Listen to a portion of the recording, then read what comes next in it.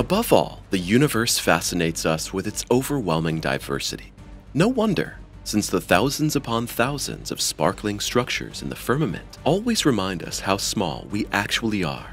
But apart from these countless celestial bodies, there are also regions in the cosmos that present the exact opposite and are characterized by an oppressive emptiness and an impenetrable darkness. And indeed, with Boötes Void, a cosmic void lurks out there that appears so gigantic and desolate that it now only keeps astronomers on their toes, but also repeatedly becomes the focus of outlandish theories about highly developed alien civilizations. But what does the Boötes Void really represent? Does it really contain the proverbial nothing? Or can it ultimately even help us answer some of the biggest questions in astronomy? To understand the background to the Boötes Void, we should first clarify a more fundamental question. Because what is a void anyway? Well, to understand this, we need to look at the overarching structure of the cosmos and remember that the so-called filaments play a fundamental role here. Basically, these are the thread-like connections made of visible and dark matter that are located between galaxy clusters and superclusters, which are naturally characterized by their high galaxy density.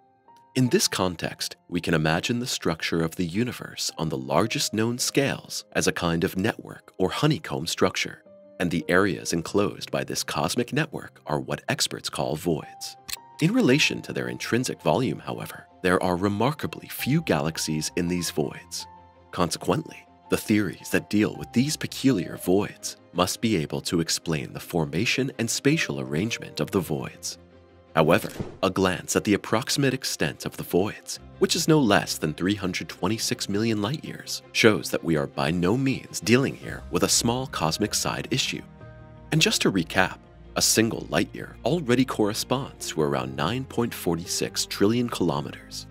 If we now assume that the proper motion of a galaxy is 600 kilometers per second, the star cluster would take more than 160 billion years to completely cross an average-sized void. However, the universe itself is only 13.8 billion years old, which is why it is improbable, to say the least, that the origin of the voids can be traced back to the outward movement of galaxies. Instead, it seems much more likely that both the voids and the filaments were once formed approximately where they are today. But what could have been responsible for this particular arrangement back then? Well, since the ordinary matter in the young universe was much too homogeneous to have created such gravitational constructs, the experts point to dark matter, and thus to a very mysterious form of matter that, according to our models, has a significant influence on the movements of visible matter, but apart from that, still embodies a huge mystery. The Cosmic Void. What is really hidden in Boötes Void? Boötes Void is sometimes also called the Great Void and yet, this term is not entirely correct, because strictly speaking, this gigantic area is not completely empty, but is characterized by its confusingly low galaxy density. Located in the constellation of Boötes, from which it takes its name, and discovered in 1981 during the study of the distribution of the redshift of galaxies, we are dealing here with a huge region that does indeed contain a few, or more precisely, 60 gravitationally bound star clusters. But if we now consider the almost ridiculously large dimensions of Boötes Void, it becomes clear to us why this value appears so strikingly low. After all, this approximately spherical area has a diameter of around 300 million light-years. This corresponds to about 0.27% of the diameter of the observable universe. And while Boötes Void, with a volume of almost 236,000 cubic megaparsecs, is one of the largest known voids of all, there is actually enough space for over 2,000 galaxies there. But as I said, we only found 60 here. And to get a sense of this yawning emptiness, it's worth taking a look at the following example. If our Milky Way were in the center of the Boötes Void, it would have taken astronomers until the 1960s to discover that there are other galaxies in the universe besides our own. No wonder because on average, we find a galaxy here only every 5.5 million light years, and it would take billions of galaxies to fill the Boötes void with our galactic home. Furthermore, with our current propulsion technologies, it would take about 13 trillion years for us to reach the superstructure 700 million light years away, and then another 6 trillion years to fly through it. There's no question that all this sounds pretty impressive, but the bottom line is that the Boötes Void is not even the largest colossus lurking in the depths of space. At the top of the cosmic voids is the KBC Void, also known as the local hole or the local void, and it measures an unimaginable 2 billion light years across. No less imposing are the Eridanus Supervoid and the Sloan Great Wall Void, each of which is over a billion light years across. And although such vast areas may undoubtedly seem oppressive, they are of paramount importance to the research world. After all, they can help us to answer some of the most fundamental questions in astronomy. The potential of the void for new insights. At first glance, one might think that the Boötes Void is a cosmic anomaly. After all, the fact that there are only 60 galaxies here instead of the expected 2,000 corresponds to a confusing 95% reduction in matter. And yet, the sheer size of this void and the knowledge that there are even much larger voids out there cast doubt on this assumption. But why is the Boötes Void there at all? Well, basically, one could say that the study of voids resembles the study of photonegatives because they are only defined by what they lack. Meanwhile, researchers have mapped the universe in detail, and what they found resembles an oversized spider web. Most galaxies lie on the threads of this cosmic web, and thus on the filaments mentioned earlier. But as already mentioned, there are also the voids, and these make up no less than 80% of the observable universe. Where the galaxy filaments are concentrated in areas of large clusters, clusters in turn arise, and our Milky Way, as a component of the superordinate Virgo supercluster, can tell you a thing or two about this constellation. The Virgo supercluster, in turn, is part of the Laniakea supercluster, and while all these filaments and voids represent the largest known structures in the cosmos, the Boötes Void is simply just one of the countless pieces of the puzzle that we call space. But while we can understand exactly what voids are, the question remains as to why they exist at all. Well, to approach this mystery, we have to turn back the wheel of time as far as it will go and go straight to the Big Bang.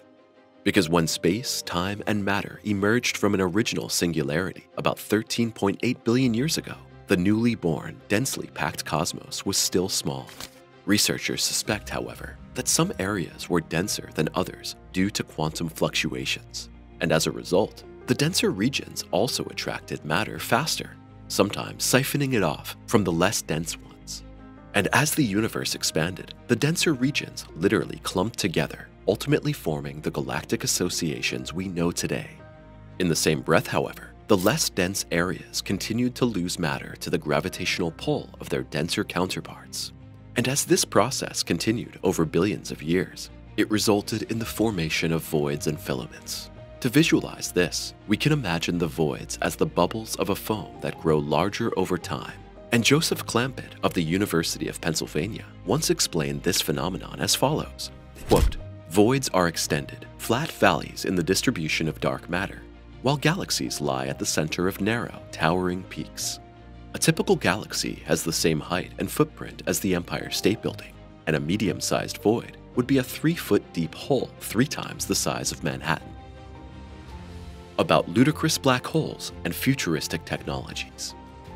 In principle, it can be said that the Boötes Void is a relic from the early days of the universe that expanded over millions of years before eventually becoming one of the largest structures in the observable universe. Well, or at least that's what the official website says. But if we delve into somewhat less official circles at this point, we see that this gigantic empty space in space is sometimes also linked to somewhat more surprising explanations. The corresponding alternative theories range from unconventional to completely crazy, but at least the first of them does not seem completely outlandish. This theory states that the huge void is in fact a colossal black hole. But how likely is that? Well, let's take a look at TON 618, which is considered one of the largest known gravity monsters and weighs an incredible 66 billion solar masses. But despite all this, the event horizon of TON 618 is just 0.2 light years across. And as a reminder, Boötes Void has a diameter of 300 million light years. So if it really were a black hole, we would be dealing with dimensions of mass that hopelessly exceed any known pattern. And in combination with the knowledge we have now gathered about this region, this approach seems, to put it mildly, rather unlikely. But then there is also the, well, somewhat surprising assumption that the Boötes void doesn't really exist at all. But if there is no colossal void out there, what are we dealing with? Well, Dyson spheres, of course. Once proposed by physicist Freeman Dyson, these are hypothetical solar power plants that completely encircle a star in order to harness as much of its energy as possible. Applied to the Boötes void, this would mean that what we perceive as a yawning void is in fact the work of a highly developed alien civilization that uses its wondrous technologies to make starlight invisible. To what extent this approach to the Boötes void sounds plausible is something everyone has to decide for themselves. But at the end of the day, what actually seems more likely? An extraterrestrial species that has managed to pack billions of stars into Dyson spheres? Or quite simply a region in space that is a little emptier than the rest? And now we'll show you a trick to fill the void in your subscription feed. Simply press the thumbs up and subscribe now to never miss a new video from us again. We'll see you soon.